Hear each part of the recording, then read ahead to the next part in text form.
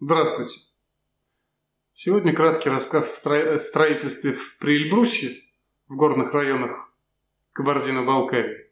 И, так уж получится, что о пеплоблоке, так называемом местном строительном материале. В июле я по неслужебной надобности был в Приэльбрусье, даже на Эльбрусе, и в процессе движения вверх наблюдал э, строительство и уже готовые построенные объекты в горных районах Кабардино-Балкарии, то есть, собственно, Балкарские районы. Живет там примерно 100 из 900 тысяч, ну, 100 тысяч из 900 тысяч жителей Кабардино-Балкарии. Строят в Кабардино-Балкарии, строили раньше, в первую очередь из местных строительных материалов. Это был местный кабардинский известняк. Довольно хорошего качества, годился для производства извести. Пиленные блоки из него, постройки из, из пиленных блоков встречаются широко. В современных... А, помимо известняка использовались также обломочные породы от разрушения главного Кавказского хребта. Помимо этих традиционных камней, в современной стройке, в первую очередь используются железобетон с заполнением из э, бетонных блоков. Железобетонный каркас, поскольку регион сейсмический. Бывает, кстати, и бескаркасное здание, однако здесь вот э, в кадре мы видим здание с железобетонным каркасом. Колонны, диски перекрытия с мощными ригелями, выходящими на фасад, сквозными ригелями на всю толщину стены. Вот видим пример бескаркасного здания, где, однако, все равно мощные ригели Э, сквозные в уровне перекрытий проходят сквозь всю толщину стены. Так вот, заполняется такой железобетонный каркас, либо возводятся несущие стены из пеплоблока. Местный строительный материал, производимый в первую очередь в Нальчике, который... Ну, я хочу вот что еще показать. Значит, э, как возводятся стены, какой толщины. Стена стычковыми рядами, с э, ложковыми, со смещением. Стена толщиной 400, 390 мм. То есть размеры блока 390 на 190 на 188. Толщина стены 390 мм. Далее, без дополнительного слоя наружной теплоизоляции, поверх кладки используется либо штукатурка, либо облицовка камнем непосредственно по кладке. То есть получается стена 390 мм блок бетонный, пеплоблок и наружная отделка. Вот, собственно, на экране мы видим даже э, здание МЧС, то есть построенное за бюджетные деньги в Терсколе, в местности, где климат близок к подмосковному. Это уже горный район, соответственно, видно, вот там, где отлетела плитка, хорошо видно, что э, однослойная стена без наружной теплоизоляции, просто та же самая кладка из пеплоблоков, облицованная плиткой. Здесь я хочу рассказать немножко об этом пеплоблоке. Ну, то есть меня так заинтересовал такой вид строительства, он вызвал во мне столько эмоций и столько желания вникнуть в суть что я полез в нормативы. Значит, э, требования к теплозащитным свойствам ограждающих конструкций в Кабардино-Балкарии. В СП 131 э, строительная климатология для всей Кабардино-Балкарии приведен только один населенный пункт реперный – это Нальчик. Нальчик – это равнинная область, предкавказье, по сути, э, климат теплый. Градуса суток отопительного периода там для жилых зданий примерно 3260. То есть климат весьма мягок. Для сравнения, кстати, то есть смотрите, 900 миллионов проживает, о, 900 тысяч жителей проживает в Кабардино-Балкарии, для Кабардино-Балкарии один населенный пункт. Камчатский край, где проживает раза в два примерно, а то и в три меньше, чем в Кабардино-Балкарии. Для него в СП 19 населенных пунктов с разными э, климатом. Просто наблюдений. Так вот, значит, определили как количество градусов суток отопительного периода. В соответствии с ними ПСП-50, 13330 тепловая защита зданий, нашли требуемое сопротивление теплопередачи. Получается, что для стен приведенное сопротивление теплопередачи для нальчика требуется 2,54 квадратных метра на градус на ватт.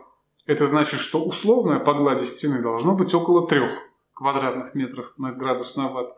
Вот, а минимально допустимое, которое с коэффициентом 0,63, получается 1,6 квадратных метров, то есть около 2 по глади. Соответственно, что за материал используется для кладки наружных стен? Пеплоблок. Изделие, производимое, вернее, выпускаемое на рынок по ГОСТ 6133, камни-бетонные стеновые. Состав, по крайней мере декларируемый, вулканический пепел, цемент. Все характеристики пеплоблоков я принимал по сайтам их производителей, по декларациям. То есть просто по публичному, уж не знаю, носит ли это характер публичной оферты, в общем, по их рассказам о самих себе. Способ производства – полусухое вибропрессование. Э, прочность – ледовые камни, значит, марки М25 до М75. Морозостойкость, как правило, 25 циклов. Больше никто не декларирует. Э, плотность брутто, то есть с учетом объемов пустот, от 850 до 1100 кг на кубический метр декларируется. Пустотность при этом высчитываемая получается 35-45%, если принимать толщину стенки 40 мм. Начинаем чуть глубже вникать. Значит, вес одной штуки 15 кг, пустотность около 40%, значит, плотность бетона самого примерно 1600-1700 кг на куб. То есть бетон формально даже не является легким. Легкие бетоны у нас имеют плотность до полутора тонн на кубический метр. Характеристики по теплопроводности. На сайтах производителей на одном только нашел внятно продекларируемое. Написано 0,132. 0,132 ватта на метр квадратный. Ну, размерность набрана и 0,132, ну, я так полагаю, в сухом состоянии. То есть врать, ну, хоть как-то умеренно. Пойдем дальше. Значит, какова их теплопроводность должна быть, ну и какова она, собственно, есть на самом деле в нашем подлунном мире, управляемом одинаковыми физическими законами. Плотность бетона примем, что она полторы тонны на кубометр. То есть возьмем заведомо улучшенные характеристики пеплоблока. Получим, что теплопроводность сухого бетона примерно 0,46 Вт на метр на градус. И если мы возьмем его форму с толщиной стенок 40 мм и возьмем соответствующие этой форме табличные значения приведенной теплопроводности кладок PN 1745 приложению D, где используются не двух, а четырех или шестипустотные блоки, то есть заведомо лучшей теплотехникой, то мы получим, что расчетная теплопроводность кладки в сухом состоянии составляет примерно 0,42 ватта на метр на градус. а приведенное, вернее, сопротивление условной теплопередачи по глади стены такой кладки составит при толщине 400 мм около 1 квадратного метра на градус на ватт. Таким образом, кладка из блоков, из пеплоблоков, толщиной 40 см обладает сопротивлением теплопередачи по глади примерно 1 квадратный метр на градус на ватт а это, соответственно, примерно 1 треть, 1 вторая от требуемого сопротивления теплопередач для нальчика. А для горных районов Кабардино-Балкарии требуемое сопротивление увеличивается еще в полтора раза, примерно. Такая кладка, кстати, для нальчика почти удовлетворяет требованиям СНИП «Строительная теплотехника» издания 1979 года э, к температурному перепаду между внутренней, наруж... внутренней поверхностью наружного ограждения и температурой внутреннего воздуха. Короче, в сильный мороз стенка на ощупь холоднее комнатного воздуха должна быть не более чем на 6 градусов. Требование было обусловлено тем, чтобы минимизировать вероятность возникновения конденсата на внутренних поверхностях наружных стен. Так вот, в Нальчике такая стенка в некоторые зимы не будет обеспечивать это требование СНИП строительная теплотехника еще тех старосоветских времен, и даже конденсат будет на стенах. В некоторые зимы. Ну и в местах э, железобетонных включений в кладку. То есть как только у нас есть каркас, каркас не утеплен, каркас однозначно промерзает. Расчетная температура наиболее холодной пятидневки минус 21 градус налички. Каркас промерзнет. На внутренней поверхности возможно не только конденсат, но и изморозь.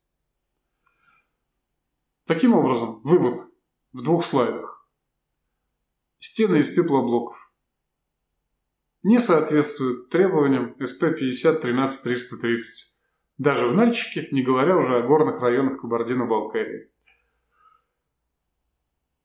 При этом в местностях, где строят стены просто ужасно несоответствующие требованиям, проживает около 100 тысяч человек.